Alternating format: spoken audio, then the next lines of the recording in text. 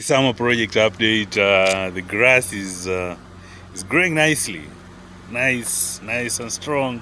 Uh, we did a couple of patches here and there, and uh, I see right now the grass is uh, doing pretty good, pretty good, pretty good. Uh, yeah, my sprinkler systems over here, one over there. That one needs to be fixed. It's kind of acting up. Look at the trees. This one should be producing fruits pretty soon. That's a pear tree, that's an apple tree.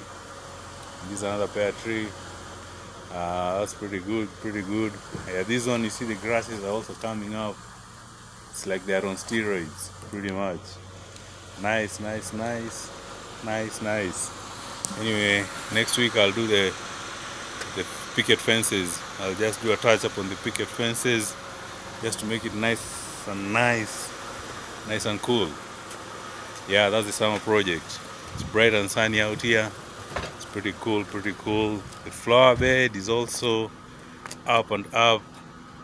A couple of weeds here and there, but uh, I'll tackle that pretty soon. Yeah, tackle that later.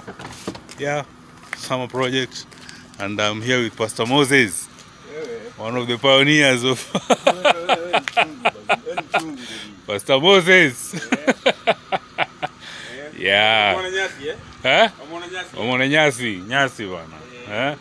Now I'll start working on this other side. This other side is coming up, but uh, yeah. Anyway, yeah, that's what I'm talking about. Nice and strong.